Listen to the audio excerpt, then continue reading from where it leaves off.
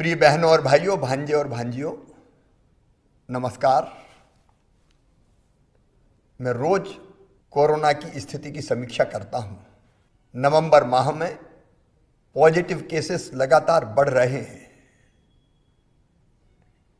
विशेषकर पिछले एक सप्ताह से पॉजिटिव आने वालों की संख्या निरंतर बढ़ रही है। एक्टिव केस भी बढ़ते जा रहे हैं। विशेषकर इंदौर में, भोपाल में, रोज पॉजिटिव केस मिल रहे हैं। 29 नवंबर को भोपाल में नौ पॉजिटिव केस आए थे। आज 30 नवंबर को 14 पॉजिटिव केस आए हैं। इंदौर में भी पाँच आए बाकी जगह भी छुटपुट केस मिल रहे हैं और हम जानते हैं पुराना अनुभव हमको बताता है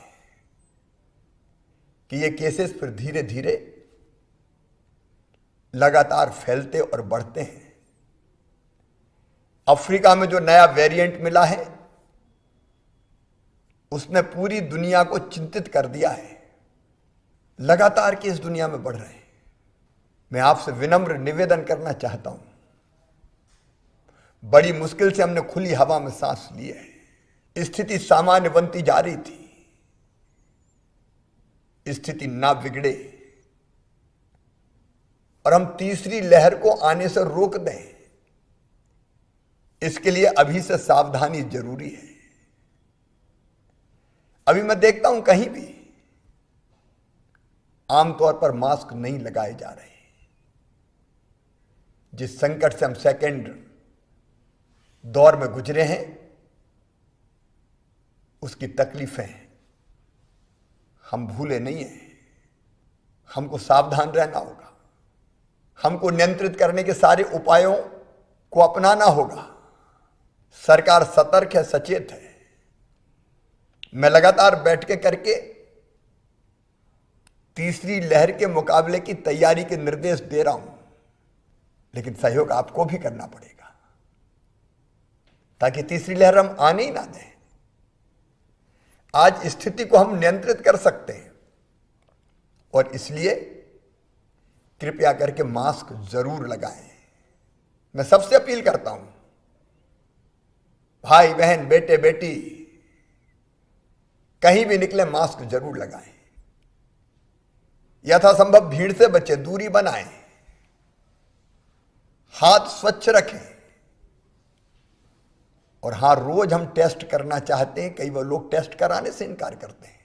कृपया कोविड के टेस्ट को ज़रूर करवाएँ। क्योंकि उसी से तो हमको पता चलेगा, अगर पॉजिटिव केस बढ़ेंगे तो। और जो लोग पॉजिटिव निकल रहे हैं, उनको आइसोलेट करना होगा। आइसोलेशन में रखना पड़ेगा। उस घर को कंटेन किया जाएगा। इसमें सहयोग करें। सेकेंड डोज ज़रूर लगवाएँ। मैं फिर अपील करता हूँ सेकेंड डोज हमारी सुरक्षा के लिए अत्यंत आवश्यक है, ज़रूरी है। मैं सभी धर्मगुरुओं से, जनप्रतिनिधियों से, राजनीतिक दलों के कार्यकर्ताओं से समाज सेवी संगठनों से, नौजवानों से बेटे बेटियों से, विद्यार्थियों से अपील करता हूँ। कि आपका सहयोग तीसरी लहर को रोकने के लिए अत्यंत आवश्यक है। अभी सावधानी के तौर पर हमने स्कूलों में जाने वाले बच्चों की संख्या 50 प्रतिशत कर दी है। एक दिन में केवल 50 परसेंट जाएँगे ताकि दूरी बना के रख सकें और वो भी माता पिता की, पालकों की अनुमति लेकर। अस्पतालों में आवश्यक तैयारी रहे। ऑक्सीजन प्लांट, दवाइयाँ, कंसंट्रेटर, इंजेक्शन, वो सारी तैयारी हम कर रहे हैं, लेकिन हे भगवान, इसकी ज़रूरत ना पड़े। लेकिन आपसे भी प्रार्थना है, आप आवश्यक सहयोग ज़रूर करें। सुरक्षा से ही हम बच सकते हैं। सावधानी अगर रखेंगे तो वो सावधानी हमारी सुरक्षा है, और वही हमें बचाएगी। कल मतलब एक दिसंबर को सवेरे 10 बजे मैं क्राइसिस मैनेजमेंट कमेटियों के साथ संवाद कर रहा हूँ, बातचीत कर रहा हूँ। उनको भी संबोधित करूँगा और उनसे भी अपील करूँगा कि हम अभी से तीसरी लहर ना आने देने के लिए कमर कस लें।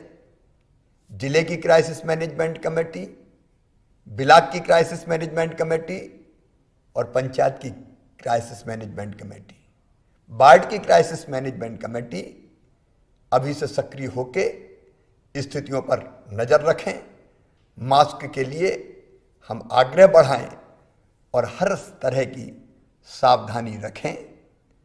मुझे पूरा विश्वास है आप सबके सहयोग से मध्य प्रदेश को हम तीसरी लहर के संकट से बचा लेंगे।